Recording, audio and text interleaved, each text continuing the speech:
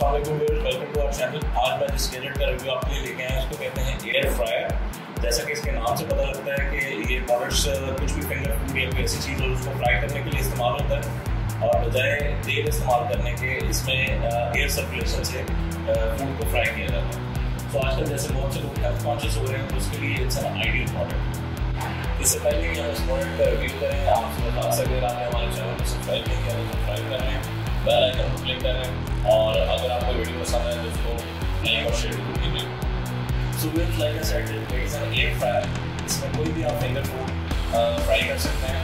जिस प्रोडक्ट को आप तेल में फ्राई करते हैं नॉर्मली उसको इसके अंदर फ्राई कर सकते हैं। समोसे हो गए और क्रोकेट्स हो गए चिकन नगेट्स हो गए, इस सारी चीज़ें हम इसमें फ्राई कर सकते हैं। इसकी वर्किंग मैं आपको बताता हूँ। इट्स वेरी सिंपल यहाँ से आप इसको स्टार्ट इंस्टॉल कर सकते हैं। टेम्परेचर और टाइम दो रीडिंग इसका नज़र आ रही है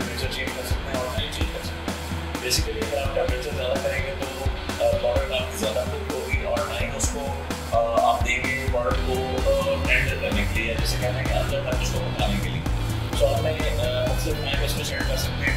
और मुख्तलिफ़ टेम्परेचर सेट कर सकते हैं, अगर आपकी प्रोडक्ट जो है, वो थोड़ी सी बड़े साइज़ में है, यानी कि उसमें ज़्यादा डीप कुकिंग की ज़रूरत है तो आप उसके लिए ज़्यादा टाइम रख लें।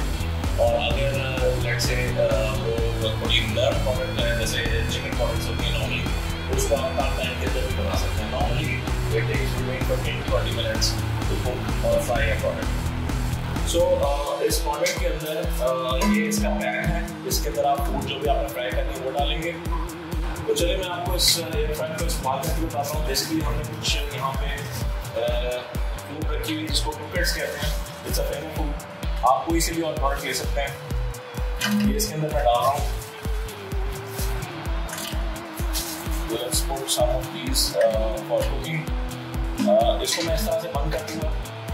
जब इसको मैं ऑन करूँगा तो एयर की सर्कुलेशन से जो हीट सर्कुलेट होगी वो इस प्रोडक्ट को बड़ी अच्छी तरीके से कुक कर देगी। अभी मैंने इसका टेम्परेचर टू हंड्रेड सेट किया हुआ है और पंद्रह मिनट के लिए मैंने इसका कुकिंग टाइम सेट किया।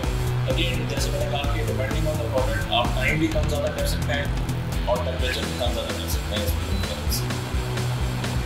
इसको मैं स्टार्ट करता हूँ। लेट्स सी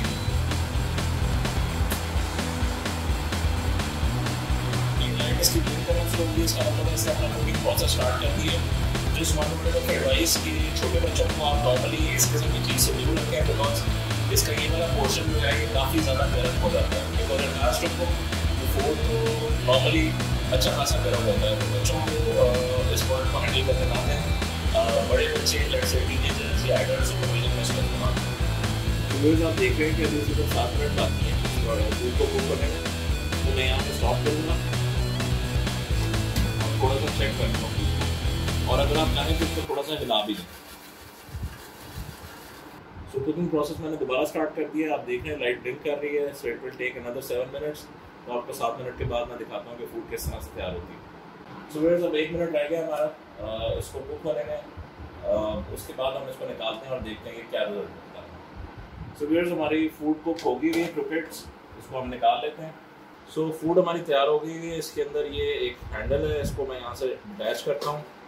तो इस तरह से ये सारा पैन आपका बाहर आ जाएगा। सो आप इसको डायरेक्टली बाहर निकाल सकते हैं इस तरह so. There you go beers your cricket और any other food that you like is ready to be enjoyed I hope you like this product and this product is available from different brands and depending on the brand the price range are different तो आप online check कर सकते हैं या physical stores पे जाके इसको uh, ले सकते हैं।